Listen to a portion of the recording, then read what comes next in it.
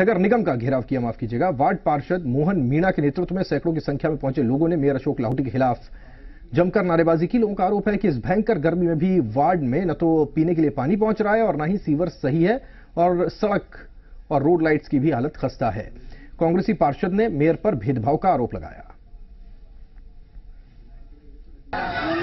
पानी सीवर जैसी मूलभूत सुविधाओं को लेकर आज वार्ड उनचास के लोग निगम मुख्यालय पर पहुँचे और यहाँ पर लगातार धरना कर रहे हैं। उन आम सुविधाओं को लेकर ये तमाम आप लोग देख सकते हैं। इन लोगों की मांग है कि जो इलाका है, उसके अंदर पानी की जो समस्या है, उस पानी की समस्या से इन लोगों को निजात मिले। जो सीवर समस्या है, उन उन तमाम समस्याओं से इन लोगों को राहत मिले।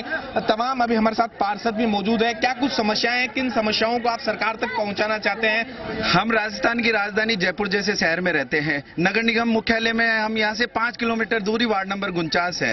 आज न तो वहाँ सिविल लाइन की कोई व्यवस्था है न वहाँ सड़कों की कोई व्यवस्था है न वहाँ से रोड पोलों पे लाइटें हैं न वहाँ नालियाँ हैं न इन बुज़ुर्गों को पेंशन मिल रही है न शौचालय के पैसे मिल रहे हैं इनको। आज मूलभूत सुविधाओं से वंचित है वार्ड नंबर उनचास। कई बार प्रयास कर रहे हैं लगातार सरकार को सूचना दे रहे हैं कि वार्ड में विकास कराओ विकास क्या कराओ। कुछ कहेंगे आप किस मुद्दे को लेकर आज आप यहाँ पर पहुँचे हैं? इस गूँगी बहरी सरकार को जगाने के लिए ये भोली भाली जनता आज अपने घरों को छोड़कर अपने घरों के पानी की समस्या को खत्म करवाने के लिए और जिन बुज़ुर्गों की पेंशन नहीं आ रही उसको चालू करवाने के लिए पानी की टंकियाँ नहीं है टंकियाँ रखवाने के लिए। अम्मा आज आप यहाँ पर आज आप भी पहुँचे हैं। क्या कुछ मांग है? क्या पानी मिल रहा है? नहीं मिल रहा। बाबू जी हम तो मेरे दुख ज़्यादा घर का ही हो गया। मेरा शि- रोजीना ही जाता है। घर को छोड़ना तो जाता है। पानी मंदिरों ने?